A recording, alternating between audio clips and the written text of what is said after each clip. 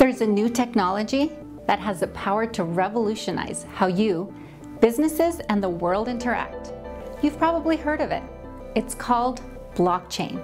But what is it? How does it work? How does it affect you? Hearing the word blockchain is comparable to hearing the word internet in the early 90s. It seemed elusive, like something that wasn't going to impact your daily life. But here we are, more than 20 years later. Think about how the internet has transformed businesses, commerce, communication, even music and video. And that's not even touching on how the internet has affected you. We all carry the internet in our pocket. We can transfer money at the touch of a button, check the weather, get directions, and even have food delivered to our door. The next technology to have that kind of impact isn't some of the buzzwords you hear. It's not big data. It's not artificial intelligence. It's not even social media. It's blockchain. Now, let's discuss the vast promise blockchain has for every business, every society, and for everyone listening today. And let's begin with an example we are all familiar with.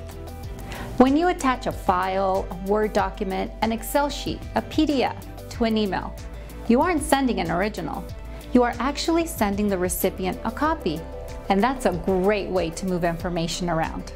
But it's not so great when it comes to things like money, stocks and bonds, music, loyalty points, intellectual property, tickets to a game or concert, then, sending a copy is suddenly a very bad idea. Let's look at an example. If I send you tickets to a concert, it's important that I don't send you a copy. You now own the original asset and I can no longer use or sell those tickets.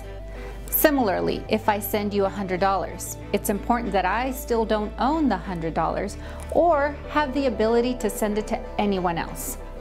Both of these examples illustrate a double spend problem, and those can be eliminated with blockchain. So now, in this exciting time in history, every kind of asset from tickets to money to music can be stored, moved, exchanged, and transacted without an intermediary. People everywhere can transact peer-to-peer -peer and trust each other by using collaboration and cryptography. How did we get here to this place of trust and collaboration?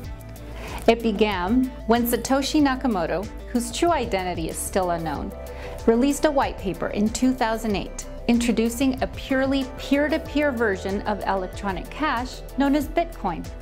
It is here that blockchain technology made its debut.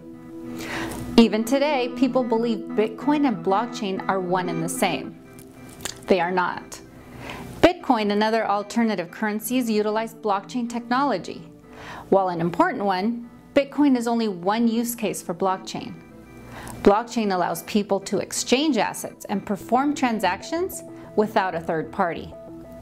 Imagine a world where you don't need intermediaries. While traditionally we have needed central authorities to trust one another and fulfill contracts, blockchain makes it possible to have our peers guarantee that for us.